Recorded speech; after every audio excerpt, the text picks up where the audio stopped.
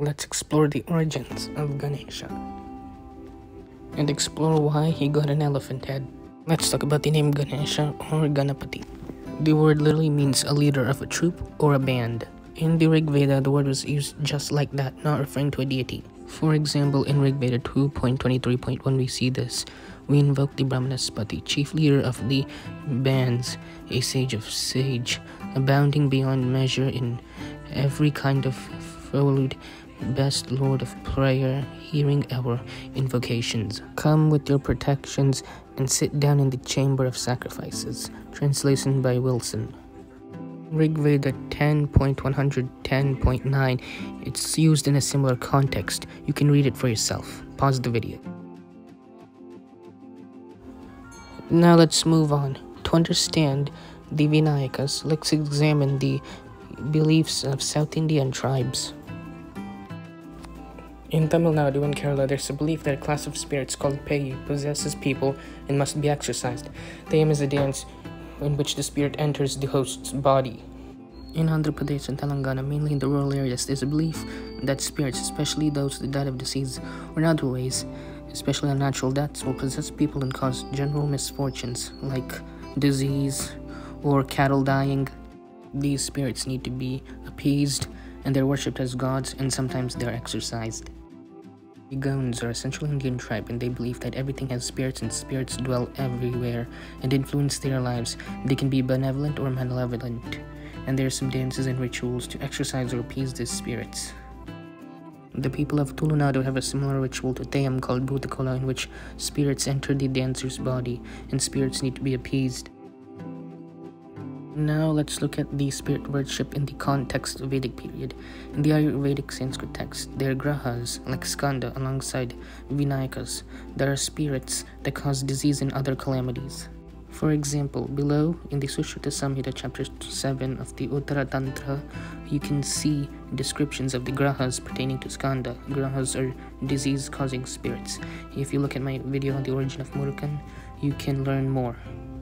Essentially, the worship of the brothers Skanda and Ganesha originated from the appeasing of spirits during the ancient period. Now, let's look at some textual references to the Vinayakas. The early reference to the Vinayakas are found in the Manavagrihya Sutra, a text on household rituals. This text dates to the end of the Vedic period. It is in the text in the Vinayaka Kalpa in which they are found for the first time. From this text, we can see that unlike Ganesha of today, the Vinayakas were creators of obstacles rather than removers.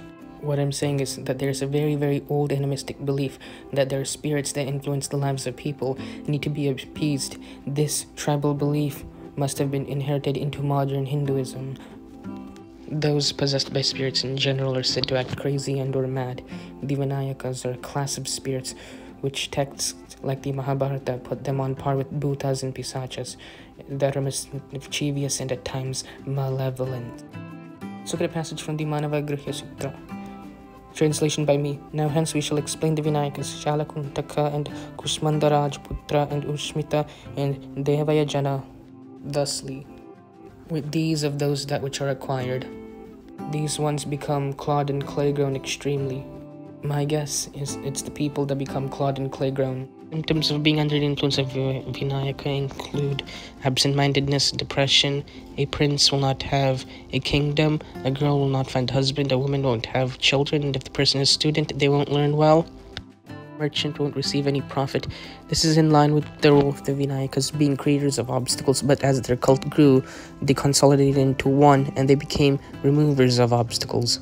The Yajnavalkya Smriti dating to like the 2nd century AD, we have the Vinayakas being condensed into four Vinayakas, but in this text, the Vinayakas are said to be manifestations of one Vinayaka. Now, this is found in chapter 2, verses 271 to 294. Now, this is one of the earliest times we see the Vinayakas being a class of spirits to a single deity. You can think of this Vinayaka as a proto Text also has the Vinayaka Shanti and an explanation of how to pray to and appease the deities. They are free from one's possession.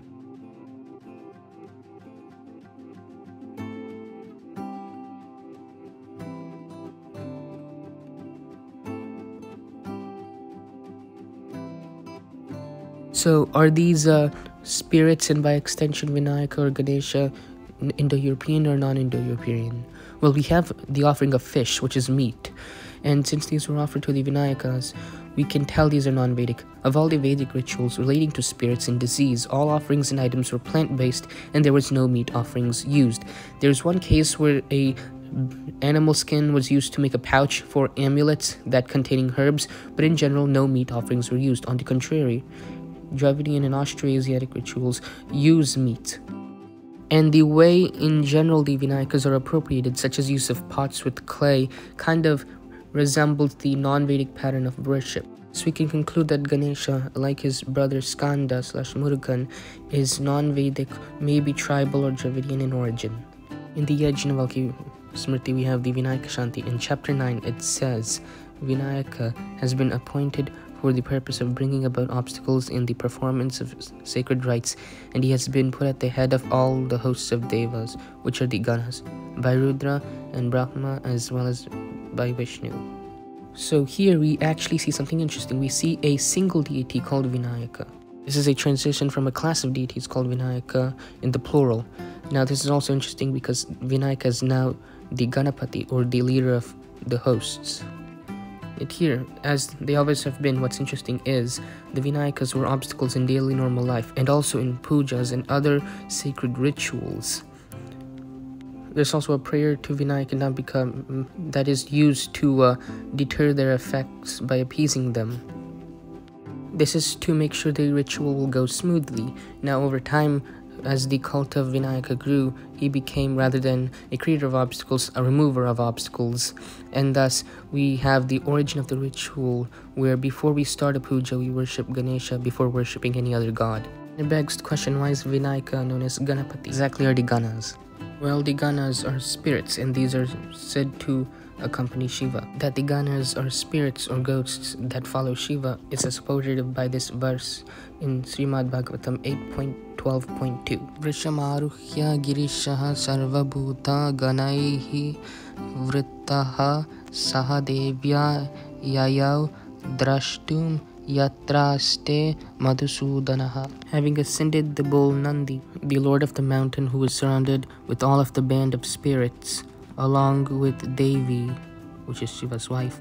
He went to see where Madhusudana was sitting. We know Ganas refer to spirits, and since the Vinayakas, and by extension Ganesha, was a spirit and the foremost of spirits back then, they regarded Ganesha as the leader of the spirits, or Gananampati, or Ganapati.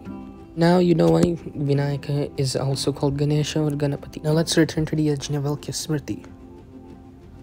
So, in verses 287 to 290 of the Yajnavalkya Smriti, 9th chapter, which is also the Vinayaka Shanti, it says to get rid of Vinayakas possessing a person by praying to and appeasing the Vinayaka and as well his mother Ambika.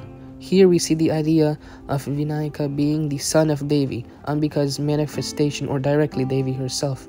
Actually, Ambika might be a precursor to Uma slash Parvati. We'll deal with Ambika and the origin of goddesses separately in a video explaining the origin of Shaktiism.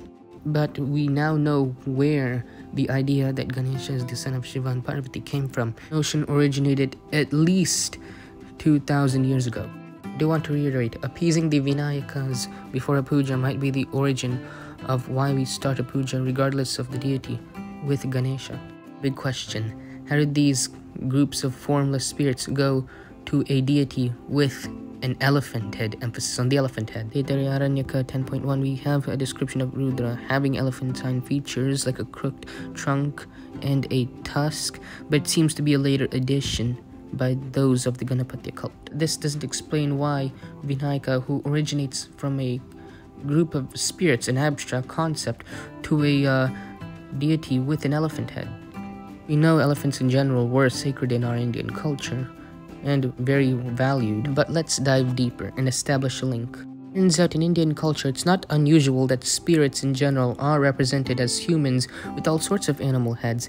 Now, the Bharatiya Natya Shastra, chapter 23, verse 98, has this Bhutas, aka spirits, are known to be of various colors. They are dwarves with odd faces and may have faces of boars, rams, buffaloes, and deer as well.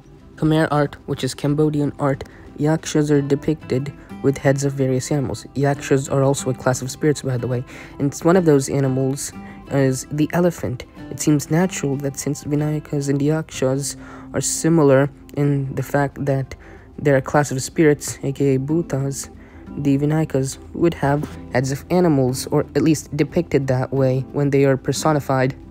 So my point is, since these spirits, such as Yakshas and especially the Vinayakas, were in general depicted with animal heads, just variation that at least one of these Vinayakas would have an elephant head. Now it's likely that the Vinayaka with the elephant head, or Vinayakas in plural with elephant heads, which then later consolidated into one, were the popular out of these Vinayakas. One solely famous deity with an elephant head. Now that we know the origin of the elephant head, now let's see why the elephant head was the popular one. Now the easiest answer is obviously elephants have a long history with Indian people, but let's see what exactly that might be.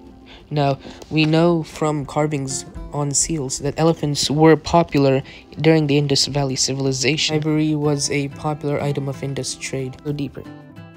The big reason Pun most definitely intended was that they were known for their size and strength and greatness. Did you know that to get to the leaves on the top, elephants will literally push down the trees?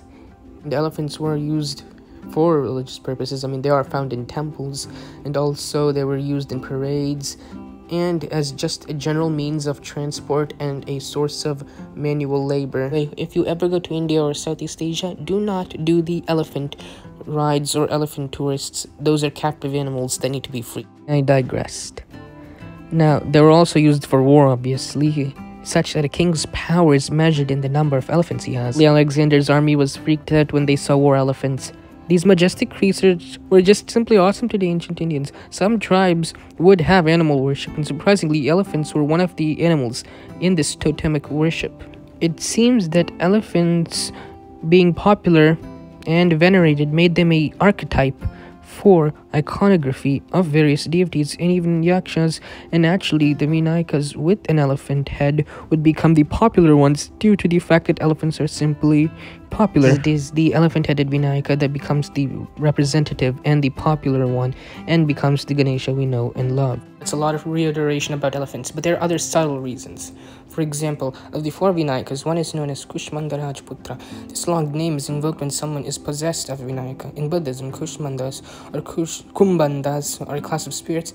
The leader is known as Virudaka. Virudaka is one of the guardians of the four directions. He guards the south. In later depictions, Virudaka wears a helmet with the head of a slain elephant. Interestingly, later Puranas mention Ganesha as the guardian of the south.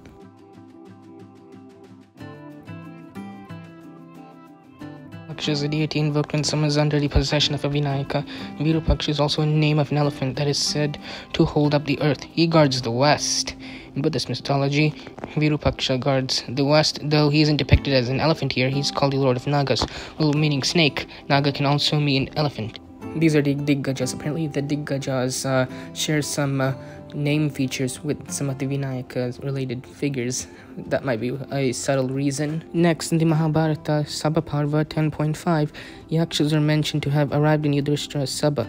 One of them is Dantin, literally means one with a tooth or one with a tusk. Come back to the spirits being depicted with animal heads. In addition to the Khmer art, in a collection of Mathuran art on a frieze, it's number 2335, five yakshas are depicted with elephant heads. Interestingly, five Vinayakas are mentioned in the Yajnavalkya Smriti. Kushmanda Rajaputra was actually split into two figures Kushmanda and Rajputra, and thus you see four Vinayakas become five. These elephant-headed yakshas were depicted with Kubera, who's a god. So perhaps Ganesha's association with these yakshas solely because of the elephant head or the spirit nature might have uh, associated Ganesha with Kubera and thus uh, help elevate Ganesha to the status of a god. However, this is just a hypothesis.